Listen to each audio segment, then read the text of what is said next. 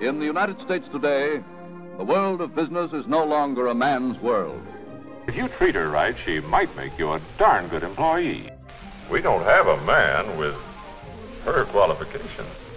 Most men would have a hard time of it if they were to change jobs with wife, mother, or girlfriend. She's a woman, isn't she? She's a woman, isn't she? She's a woman, isn't she? A woman, a woman, isn't she? The homemaker walks miles every day. must get word to girls everywhere throughout the country.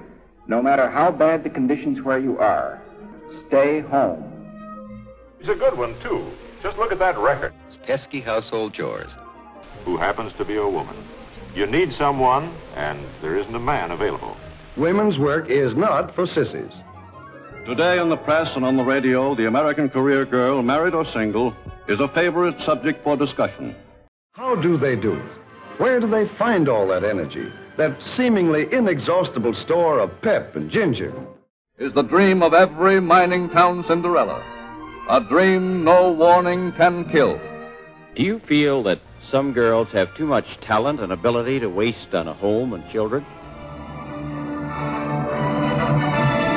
She's looking for a job, that is, and she's dressed for it, too. Tastefully, not expensively.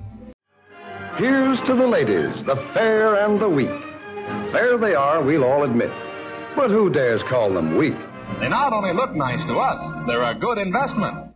In many fields, they are far more efficient than men. In most, they are indispensable. Without women today, the nation's work could not be carried on. Our modern girls play as hard and with as much vitality and stamina as any man. She's a woman, isn't she? She's a woman, isn't she? She's a woman, isn't she? She's a woman, She's a woman, She's a woman, isn't she? Isn't she? Isn't she? Isn't she? Isn't she? Isn't she? She's a woman, isn't she? She's a woman, isn't she? She's a woman, isn't she? She's a woman, isn't she? She's a woman, isn't she?